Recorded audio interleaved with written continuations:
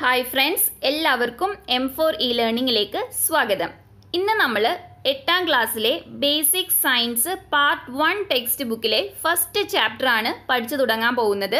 അപ്പോൾ already social സയൻസിലെ first two ചാപ്റ്റേഴ്സിന്റെ ക്ലാസ്സസ് അപ്ലോഡ് ചെയ്തിട്ടുണ്ട്. അപ്പോൾ അത് കാണാത്തവർ ജസ്റ്റ് ഒന്ന് കണ്ടു നോക്കുക. അതുപോലെ തന്നെ എം ഫോർ ഇ ലേണിംഗ് എന്ന യൂട്യൂബ് ചാനൽ സബ്സ്ക്രൈബ് ചെയ്യാൻ മറക്കരുത്.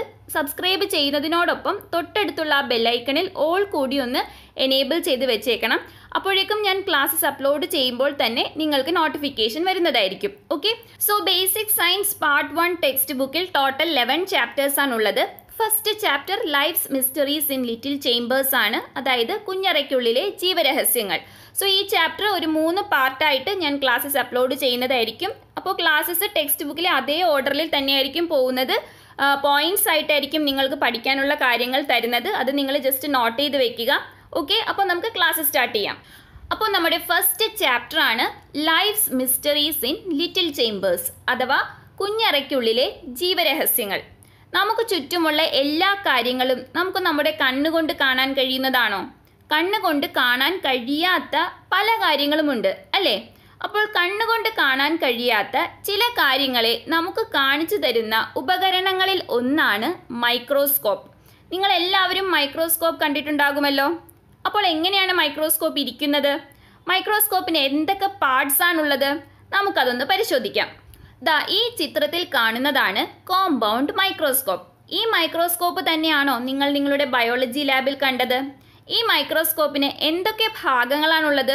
അപ്പോൾ നമുക്ക് പാർട്സ് ഓഫ് മൈക്രോസ്കോപ്പ് ഏതൊക്കെയാണെന്ന് നോക്കാം. പ്രധാനമായിട്ടും ആറ് പാർട്സ് ഉണ്ട്. ആദ്യത്തേത് ഐ പീസ് രണ്ടാമത്തേത് നോബ് മൂന്നാമത്തേത് ഒബ്ജക്റ്റീവ് ലെൻസ് നാലാമത്തേത് സ്റ്റേജ് ആൻഡ് ക്ലിപ്പ് അഞ്ചാമത്തേത് കണ്ടൻസർ ആറാമത്തേത് മിറർ.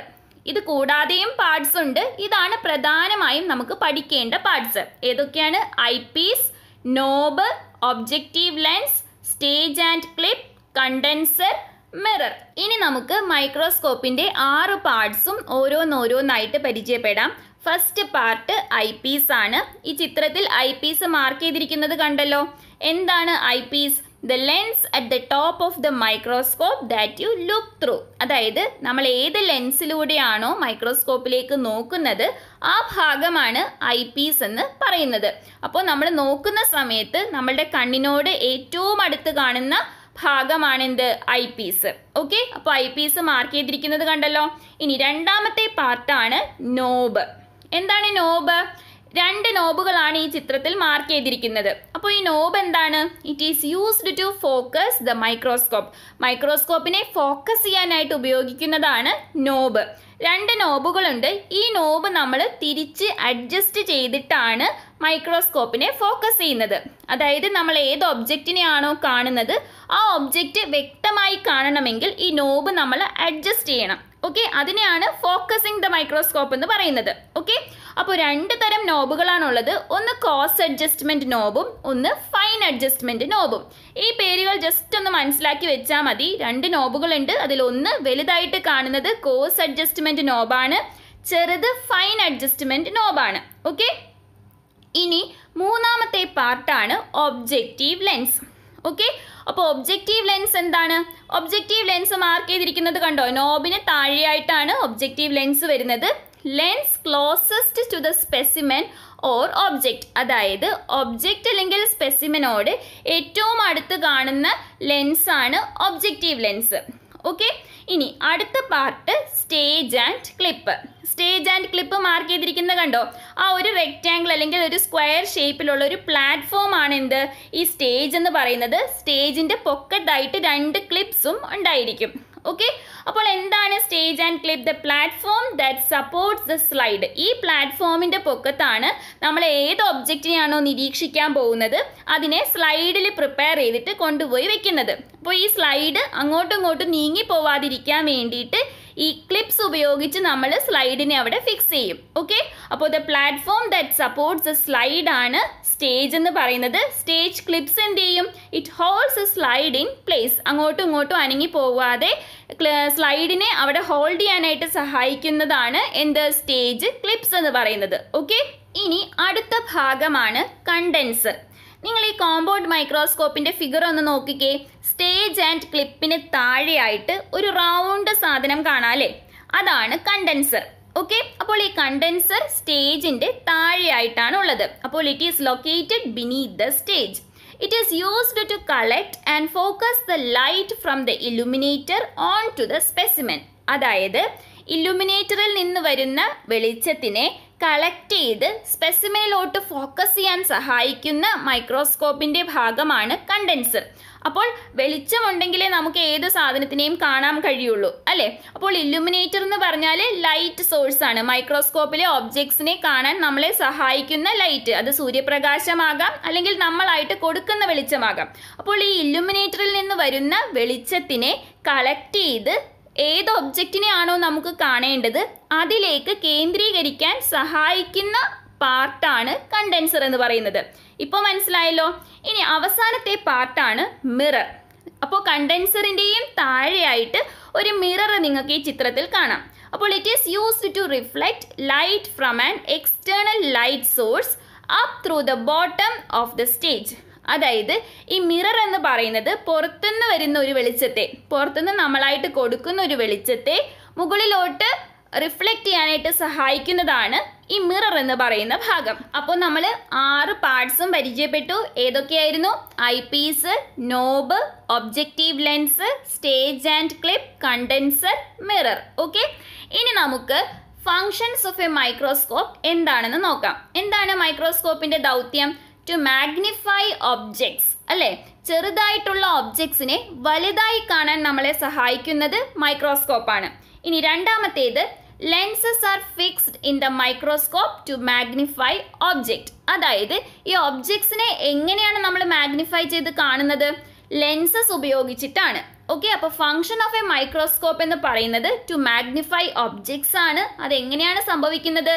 ലെൻസസ് ഫിക്സ് ചെയ്തിട്ടുണ്ട് മൈക്രോസ്കോപ്പിൽ ഈ ലെൻസസ് ഉപയോഗിച്ചിട്ടാണ് മൈക്രോസ്കോപ്പ് നമുക്ക് ചെറിയ ഒബ്ജക്ട്സിനെ മാഗ്നിഫൈ ചെയ്ത് വലുതാക്കി കാണിച്ചു തരുന്നത്. ഓക്കെ ഇനി അടുത്തതൊരു ക്വസ്റ്റ്യൻ ആണ്. Name the parts where lenses are fixed ഏതൊക്കെ പാർട്സിലാണ് ലെൻസസ് ഫിക്സ് ചെയ്തിരിക്കുന്നത്? ഒന്ന് ഓർത്ത് നോക്കിക്കേ ആ ചിത്രം. മൈക്രോസ്കോപ്പിന്റെ ആ ഫിഗർ ഒന്ന് റീകളക്ട് ചെയ്താൽ നിങ്ങൾക്ക് അറിയാൻ പറ്റും എവിടെയൊക്കെയാണ് ലെൻസ് ഉള്ളതെന്ന്. ഐ പീസിൽ ലെൻസ് ഉണ്ടല്ലേ? ആ ലെൻസിലൂടെയാണ് നമ്മൾ നോക്കുന്നത്. പിന്നെ ഒബ്ജക്റ്റീവ് ലെൻസും ലെൻസ് തന്നെയാണ്. അപ്പോൾ രണ്ട് സ്ഥലത്താണ് ലെൻസ് ഫിക്സ് ചെയ്തിട്ടുള്ളത്. ഫസ്റ്റ് ഒബ്ജക്റ്റീവ് ഫസ്റ്റ് ഐ പീസും രണ്ടാമത്തത് ഒബ്ജക്റ്റീവ് ലെൻസും ഓക്കെ ഇനി അടുത്തത് നമ്മൾ ഇത്രയും നേരം പഠിച്ചത് കോമ്പൗണ്ട് മൈക്രോസ്കോപ്പിന്റെ പാർട്സ് ആണ്. അപ്പോൾ ഈ കോമ്പൗണ്ട് മൈക്രോസ്കോപ്പ് എന്താണ്?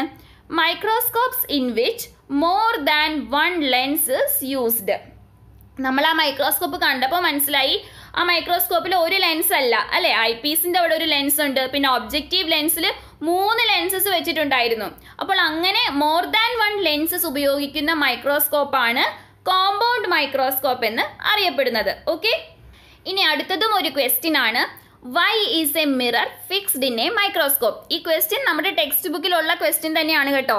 ഓക്കെ അപ്പോൾ why is a mirror fixed in a microscope എന്തുകൊണ്ടാണ് മൈക്രോസ്കോപ്പിൽ നമ്മൾ ഒരു മിററിനെ ഫിക്സ് ചെയ്തിരിക്കുന്നത്? അപ്പോൾ ഓൾറെഡി മിറർ എന്താണെന്ന് പഠിച്ചപ്പോൾ നമ്മൾ പറഞ്ഞു മിറർ എന്ത് ചെയ്യും? പുറത്തുനിന്ന് വരുന്ന ലൈറ്റിനെ സ്റ്റേജിലോട്ട് റിഫ്ലക്റ്റ് ചെയ്യാനായിട്ട് സഹായിക്കും അല്ലേ? അപ്പോൾ a mirror is fixed inside the microscope to reflect the light onto the specimen to be examined നമുക്ക് ഏത് ഒബ്ജക്റ്റിനെ ആണോ കാണേണ്ടത് വലുതാക്കിയിട്ട് ആ ഒബ്ജക്റ്റിലേക്ക് അത് ആ ഒബ്ജക്റ്റ് നമ്മൾ വെച്ചിരിക്കുന്നത് എവിടെയാണ്? സ്റ്റേജിലാണ് അല്ലേ? അപ്പോൾ ആ ഒബ്ജക്റ്റിലോട്ട് നമ്മുടെ ലൈറ്റിനെ റിഫ്ലക്റ്റ് ചെയ്യാൻ വേണ്ടിയിട്ടാണ് മിറർ വെച്ചിരിക്കുന്നത്. Okay plane mirror reflect sunlight and concave mirror reflect artificial light അപ്പോൾ എന്ത് മനസ്സിലായി? മൈക്രോസ്കോപ്പിൽ രണ്ട് തരം മിറർ ഉണ്ടായിരിക്കും. ഒന്ന് പ്ലെയിൻ മിറർ ആയിരിക്കും. മറ്റൊന്ന് കോൺകേവ് മിറർ ആയിരിക്കും. അപ്പോൾ പ്ലെയിൻ മിറർ സൺലൈറ്റിനെ റിഫ്ലക്റ്റ് ചെയ്യുന്ന സമയത്ത് കോൺകേവ് മിറർ ആർട്ടിഫിഷ്യൽ ലൈറ്റിനെയാണ് റിഫ്ലക്റ്റ് ചെയ്യുന്നത്. കോൺകേവ് മിറർ ആർട്ടിഫിഷ്യൽ ലൈറ്റ് എന്ന് പറഞ്ഞാൽ എന്താണ്? ആർട്ടിഫിഷ്യൽ ലൈറ്റ് എന്ന് പറയുമ്പോൾ നമ്മൾ പ്രൊവൈഡ് ചെയ്യുന്ന ലൈറ്റാണ് ആ ലൈറ്റിനെ റിഫ്ലക്റ്റ് ചെയ്യാൻ സഹായിക്കുന്നത് കോൺകേവ് മിററും സൺലൈറ്റിനെ റിഫ്ലക്റ്റ് ചെയ്യാൻ സഹായിക്കുന്നത് plane മിററുമാണ് okay Now the next question is why do we use a slide made of glass to place the material to be observed? അതായത് നമ്മൾ എന്ത് വസ്തുവിനെയാണോ വലുതായിട്ട് കാണേണ്ടത് അതിനെ നമ്മൾ ഒരു സ്ലൈഡിലാണ് പ്രിപ്പയർ ചെയ്തിട്ട് മൈക്രോസ്കോപ്പിൽ വെച്ച് നോക്കുന്നത്. ഓക്കെ അപ്പോൾ അങ്ങനെ പ്രിപ്പയർ ചെയ്യാൻ ഉപയോഗിക്കുന്ന സ്ലൈഡ് എപ്പോഴും ഗ്ലാസ് സ്ലൈഡ് ആയിരിക്കും. നിങ്ങൾക്ക് ലാബിൽ പോയിട്ട് എപ്പോഴെങ്കിലും കാണാൻ പറ്റുമ്പോൾ അറിയാൻ പറ്റും. ആ സ്ലൈഡ് എന്ന് പറയുന്നത് ഗ്ലാസ് സ്ലൈഡ് ആയിരിക്കും. അപ്പോൾ എന്തുകൊണ്ടാണ് നമ്മൾ ഗ്ലാസ് സ്ലൈഡ് തന്നെ ഉപയോഗിക്കുന്നത്? ഗ്ലാസിന് പകരം വുഡോ അല്ലെങ്കിൽ സ്റ്റീലോ എന്നും എന്തുകൊണ്ട് ഉപയോഗിക്കുന്നില്ല എന്നാണ് ചോദ്യം.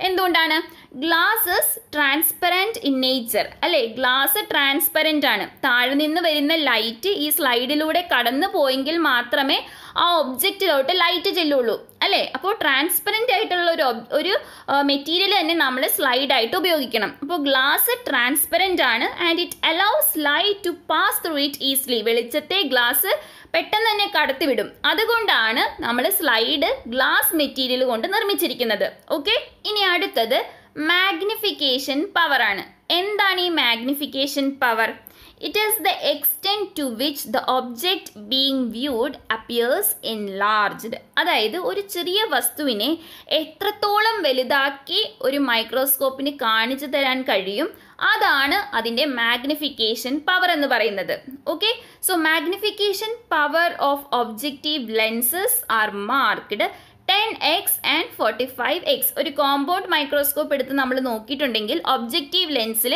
ടെൻ എക്സ് എന്നും ഫോർട്ടി ഫൈവ് എക്സ് എന്നൊക്കെ എഴുതിയിട്ടുണ്ടായിരിക്കും. ഇത് അതിന്റെ മാഗ്നിഫിക്കേഷൻ പവറാണ് ഓക്കെ അതുപോലെ തന്നെ ഒരു labelling I പീസിലും കൊടുത്തിട്ടുണ്ടായിരിക്കും.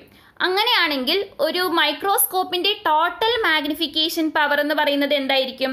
The magnification power of microscope is a result of multiplying the numbers seen in objective lens and eyepiece. അതായത് ഒരു സമയം നമ്മൾ ഐ പീസിലൂടെ നോക്കുന്നു ഒബ്ജക്റ്റീവ് ലെൻസിലൂടെയാണ് സ്ലൈഡിനെ ഫോക്കസ് ചെയ്യുന്നത് അല്ലേ? അപ്പോൾ ആ സമയത്ത് മൈക്രോസ്കോപ്പിന്റെ മാഗ്നിഫിക്കേഷൻ പവർ എന്ന് പറയുന്നത് ഒബ്ജക്റ്റീവ് ലെൻസിലുള്ള പവർ മൾട്ടിപ്ലൈഡ് ബൈ ഐ പീസിന്റെ പവർ ഇത് രണ്ടും കൂടി മൾട്ടിപ്ലൈ ചെയ്യുമ്പോഴാണ് നമുക്ക് കോമ്പൗണ്ട് മൈക്രോസ്കോപ്പിന്റെ ടോട്ടൽ ആയിട്ടുള്ള പവർ മനസ്സിലാവുന്നത്. ഓക്കെ ഇവിടുത്തെ ഫിഗറിൽ കൊടുത്തിട്ടുണ്ട് രണ്ട് ഒബ്ജക്റ്റീവ് ലെൻസിനെ അതിൽ മാർക്ക് ചെയ്തിരിക്കുന്നത് ടെൻ എക്സ് എന്നും ഫോർട്ടി ഫൈവ് എക്സ് എന്നുമാണ്. ഇത് ആ ലെൻസിന്റെ മാഗ്നിഫിക്കേഷൻ പവറാണ് അതായത് എത്രത്തോളം ആ ലെൻസിന് ഒരു വസ്തുവിനെ വലുതാക്കി കാണിക്കാൻ കഴിയുമെന്നുള്ളതാണ് അതുകൊണ്ട് ഉദ്ദേശിക്കുന്നത്. ഓക്കെ അപ്പോൾ it is the extent to which the object being viewed appears enlarged okay അപ്പോൾ ഇത്രയും കാര്യങ്ങളാണ് മൈക്രോസ്കോപ്പിനെ കുറിച്ച് നമുക്ക് ഈ ഒരു ചാപ്റ്ററിൽ പഠിക്കാനുള്ളത്.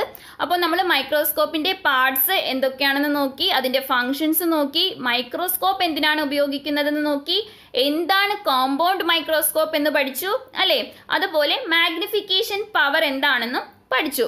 സോ ഇനി ബാക്കിയുള്ള ടോപ്പിക്സ് അടുത്തൊരു ക്ലാസ്സിൽ നമുക്ക് ഡിസ്കസ് ചെയ്യാം. അപ്പോൾ നിങ്ങളുടെ അഭിപ്രായങ്ങളും നിർദ്ദേശങ്ങളും കമന്റ് ചെയ്യാൻ മറക്കരുത്. അതുപോലെ തന്നെ ചാനൽ സബ്സ്ക്രൈബ് ചെയ്യാനും വീഡിയോ നിങ്ങളുടെ ഫ്രണ്ട്സിന് ഷെയർ ചെയ്ത് കൊടുക്കാനും മറക്കരുത്. ഓക്കെ അപ്പോൾ നമുക്ക് അടുത്തൊരു ക്ലാസ്സിൽ കാണാം. Thank friends